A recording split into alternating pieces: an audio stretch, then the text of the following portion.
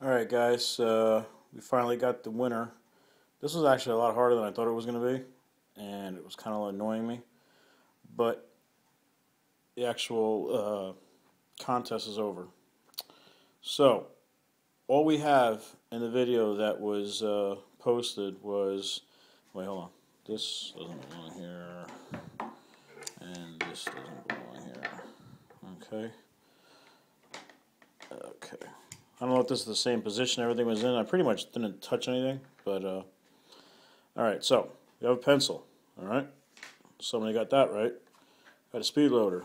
Somebody got that right. Got a G-Shock watch. Somebody got that right. Got a shotgun shell for a tri-shot UTG. Got my real steel PMag. Shotgun shell holder and a notebook. All right. Now, the only person that got all that right, typed it correctly, and posted it nice and neatly is this guy. Oh, and the mouse too. I'm just happen to be using that on the computer. All right. Is this guy right here. I'm not sure how to pronounce your name, dude, but I if it's going to focus. It's Ada Moman 17. You're the only one who posted everything right and neatly, so you are the winner. Okay. So, what you will get is one of these. And it's not going to say the same thing.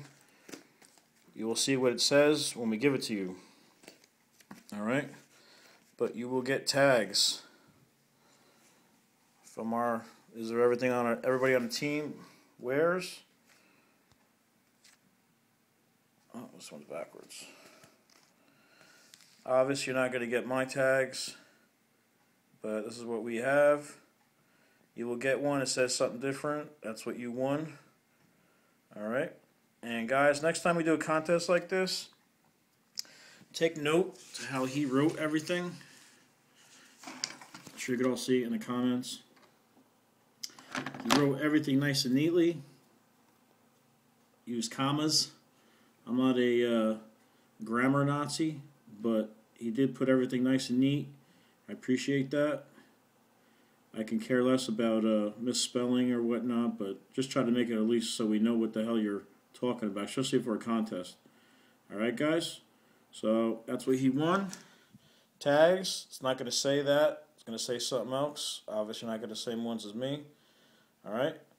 Might possibly be another contest coming up real soon, so stay tuned to the channel. And you know what, guys?